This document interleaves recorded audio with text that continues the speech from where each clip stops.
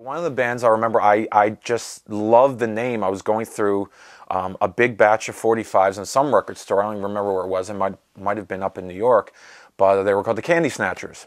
And uh, I thought the name was great. And on the cover, it was this really cheap black and white cover with this guy uh, with blood pouring down his face, uh, which turned out to be Larry May, of course. And uh, I had never heard of them, uh, and I bought it simply on the aesthetic of the 7-inch, and I thought that was cool. And when I got it home, of course, my, my life was changed because all of a sudden it was like, wow, here is a band, this guy's screaming his balls off.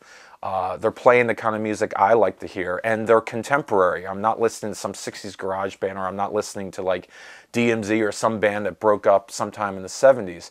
Uh, and then I found out that they were literally just a couple hours south of me. Um, in the Norfolk, Virginia Beach area.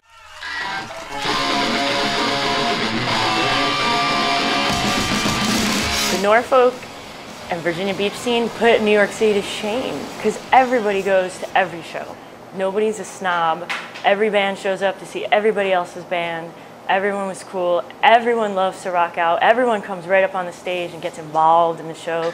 They come right up and they try and grab you, and they, some people try to kick you, some people steal your drinks, but it's like constant. Just everyone's there to have a good time. Because they played so much, and you know they kind of fit in here so well. I still think they're a New York band. It takes a special moment in time and a special place and special people to make something that like you know something that could like bring up your emotions so much.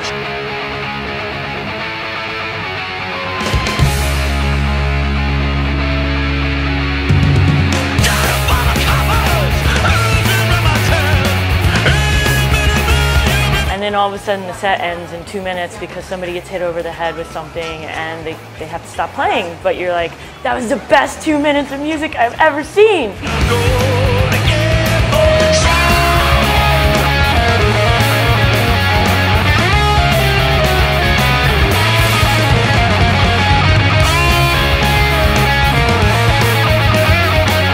This was everything I wanted to see in a band. They were everything about the Germs, Flipper, and GG Allin, and the Dead Boys all rolled into one. I was seeing so many bands and working with bands as I just started started as a producer. The craziest show I've ever seen in my life, like in my entire life. I've never seen a rock and roll show like this. This is what I was waiting for. It was dangerous, broken glass everywhere. As soon as they came on stage, it was just beer bottles broken and Larry and Matthew cutting themselves up with, with the beer bottles. All these people just tackled Willie, pulled off all his clothes. He was completely naked, and they set his bass on fire while he's playing.